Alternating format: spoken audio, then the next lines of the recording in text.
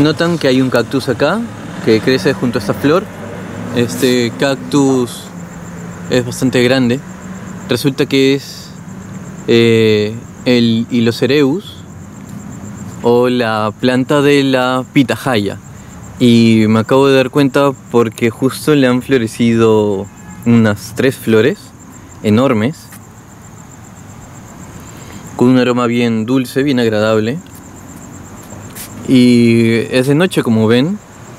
No me había dado cuenta porque lo he visto de espaldas hasta que al momento de regresar a casa las he notado.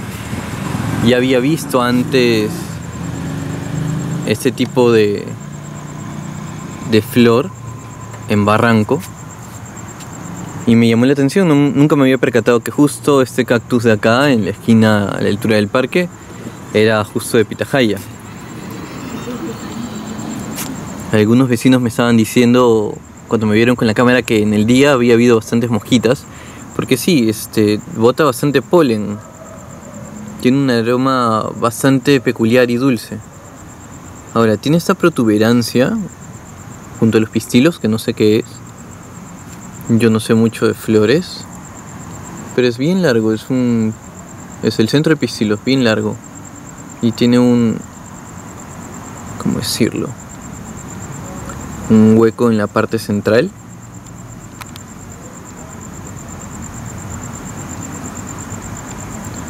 El tamaño de la flor es más o menos el tamaño de mi puño.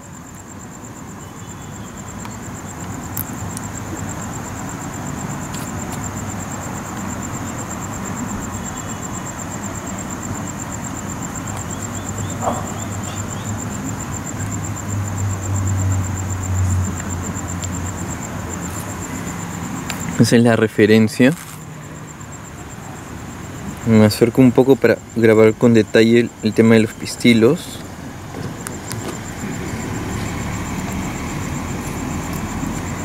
Son un montón. Y realmente no son más grandes que el tamaño de un grano de arroz. Las tres flores tienen esta protuberancia que sale en la parte baja que yo me hubiera imaginado que sería hacia el centro, ¿no? Pero no. Por acá mayormente antes había pencas, pero las cortaron porque atraía murciélagos. Me pregunto si eso también atraerá murciélagos.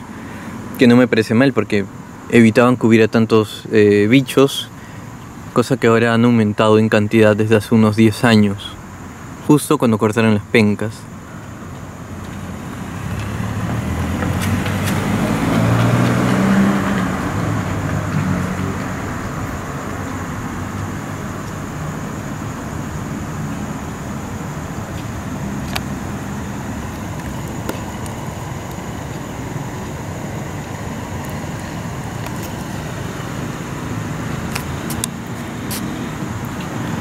Como ven son bastante grandes, están a la altura de por encima de mi bicicleta. O sea, posiblemente podría ser incluso más altas. En otros casos, como en el de Barranco, el video que ya teníamos, eh, estas flores, por ejemplo, trepaban hasta la copa del árbol y quedaban en la parte aérea, como a unos 4 a 5 metros de altura, lo que hacía más fácil para los insectos poder polinizarlas pero igual, eh, el hecho de que sea pues este la flor de la pitahaya lo hace algo peculiar en lince.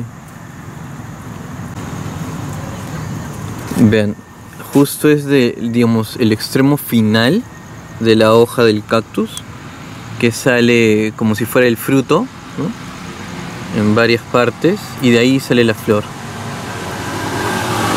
Igual de acá.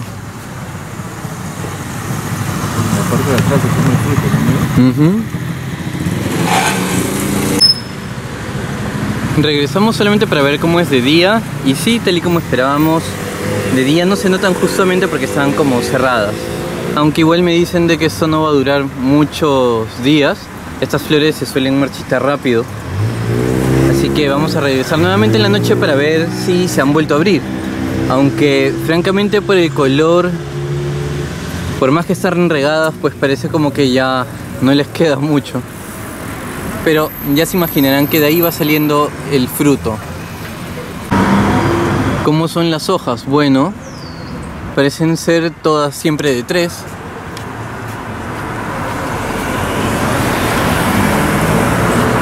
Con un borde medio ondulado y espinas solamente en los pliegues. Regresamos de noche y siguen igual. Es más, eh, cuando los hemos intentado sujetar, se desarman, se deshacen. Parece que ya está eh, comenzando a descomponerse. Qué pena. Igual ojalá podamos ver si crece el fruto, ¿no? Ya que están cayéndose las flores. Con suerte eh, se han logrado fecundar y vamos a tener algo interesante que mostrar pronto. Volvemos detrás del Parque Santos Dumont. Las flores, como ven, se terminaron de marchitar, pero parece que el fruto sí agarró.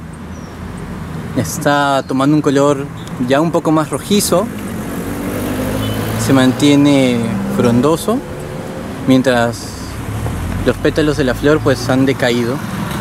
Pero dentro de poco vamos a tener fruta entonces. Al final lo cortaron, al final lo podaron, entre comillas, porque realmente no hacía falta. Pero bueno, es la arrogancia de la gente, que creen que las plantas solamente son decorativas.